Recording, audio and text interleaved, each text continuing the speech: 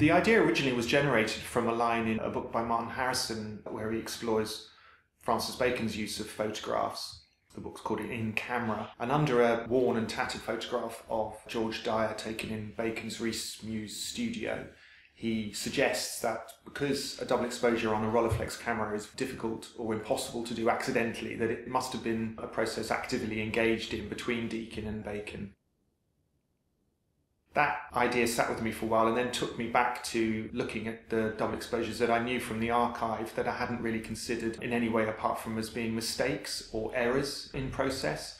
But um, after having read Martin Harrison's kind of note there, I went back to them to go through them again, which is what generated the idea that we might have something more interesting than a mistake.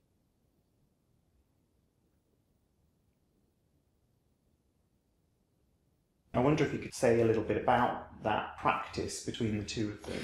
So, the images that Deakin took for Bacon, the understanding of how and where and when they were commissioned has really been unexplored.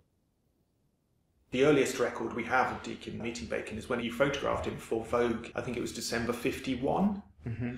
But the relatively small circle, I suppose, sort of like a edgy, creative homosexual underground scene that they centred on around Soho, both pre war and post war, means it's difficult to imagine that they wouldn't have known each other earlier. The classic photograph of Bacon with sides of meat became a defining image of Bacon but it postdates Bacon's first use of meat in painted imagery. After that photograph, Bacon painted a very similar kind of layout using meat with a central figure and two hanging halves of a carcass of meat either side of him. So there's like a one, two, three backwards and forwards there, which kind of suggests at least a conversation between the two.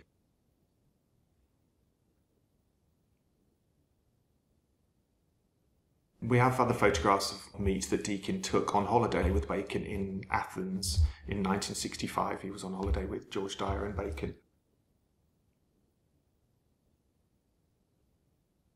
The process may have been so loose that Deakin could have thought about taking photographs that prospectively Bacon may have liked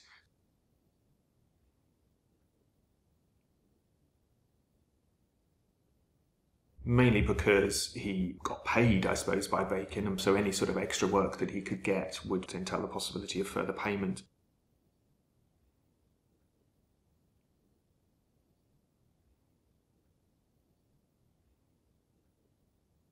I mean, I wonder if you could say a little bit about how Bacon used the prints themselves. So, the process of engaging Deakin to photograph what became his standard subjects, Bacon's standard subjects of his friends and associates around Soho. Of course, they both knew the same people and went to the same places. Bacon and Deakin even holidayed together with Dyer in 65.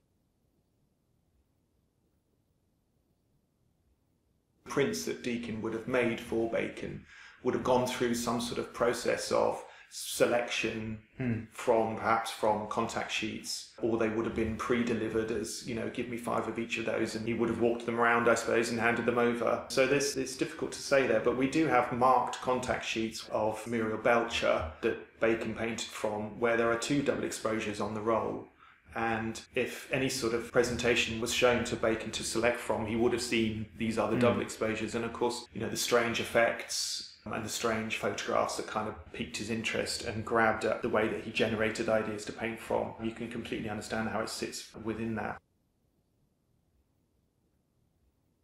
As it developed, I suppose they reached their high point really in the ones for George Dyer, which were taken in Bacon's studio with the mess of his working practice, you know, the detritus and the complete wreck of all the previous paint boxes and paint brushes and material all around the floor. There are two double exposures on that roll.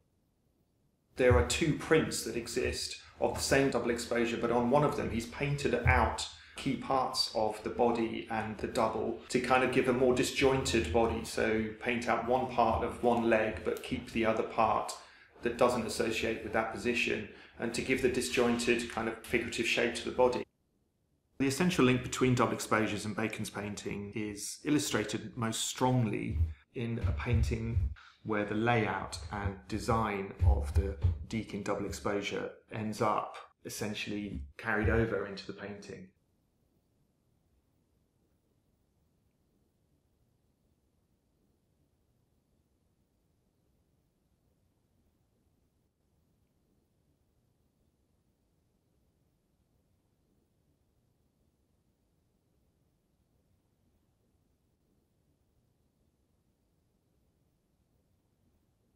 The double exposure in this sequence doesn't seems to be the sitter repeated twice.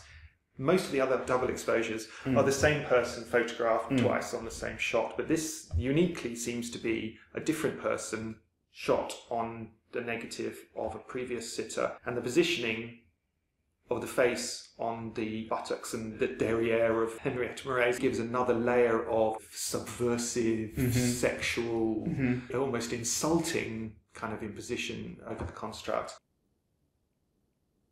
Who that face might be, because it looks like a man, takes you into all sorts of funny little corners, and whether it might be Peter Lacy, Bacon's boyfriend, prior to George Dyer. But it also interestingly looks like Peter Watson, Mm-hmm. One of the directors of the ICA, Institute of Contemporary Arts, where Bacon had his first solo show in 55.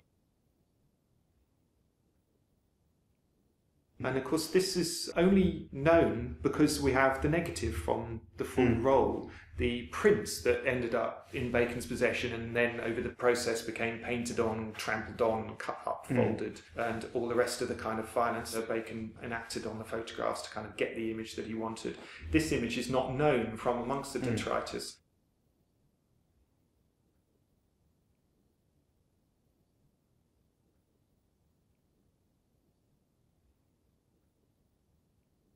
There are two images of a double exposure of a Bacon painting unglazed in the street. I think this is outside Overstrand Mansions in Battersea, mm. with the Woolworth heir standing in front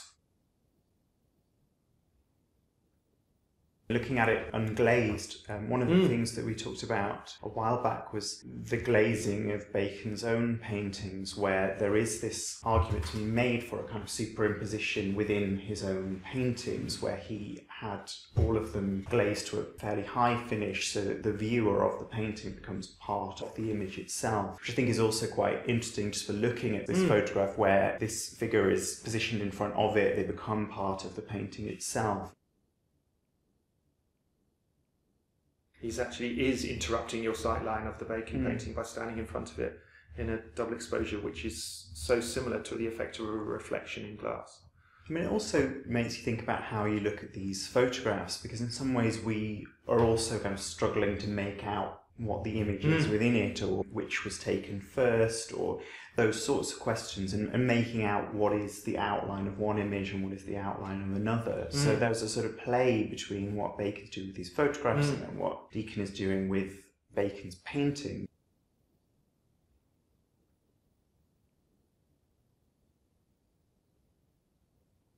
It's interesting to look at some of the images as they exist now as prints in Bacon's studio or the reconstruction of that at Hugh Lane to see the kind of state that they're in. I mean, some of this is wear and tear, mm. and some of it is deliberate manipulation of the image, which has a kind of, well, it's been argued that there's a kind of violence, I suppose, mm. to the photograph itself. And it's interesting then to really look at these double exposures and think about those as an almost kind of iconoclastic aspect. Mm. So we talked about being able to see new images within it, but actually there's also a kind of destruction of being able to identify the, mm. the figure that, that's happening here as well. In this photograph that we're looking at of Dyer in the studio is really interesting because what stays still just about in the image is this morass of mm. material mm. in the studio itself, which this photograph then itself became part of. So it's a kind of an image within an image, mm. with an image within an image yes. inside it as well. Mm. So there's a lot of kind of ideas about image making and how we recognize or misrecognize things within this photograph. Mm. But it raises some quite interesting questions about where the Bacon scholarship focuses its attentions because hmm. there's an awful lot of focus obviously on what is hmm. in the remains of the hmm. studio but often without necessarily taking into account that that's a 40 year old space, and that as we know from looking at the photographs of Dyer in that studio and then seeing the prints that have then become part of that studio, it's in constant motion. So we don't necessarily know that what's there at the time of his death was what was there in mm. the mid 60s. Yeah. So this archive, I think, allows a very different take on this material and it allows us to pose quite different questions about it, which may be more speculative than going with the evidence of the studio. Mm. But it asks us, I think, to kind of address quite how we use that studio material and to treat it with mm. slightly more trepidation than it has been in the past. Yeah.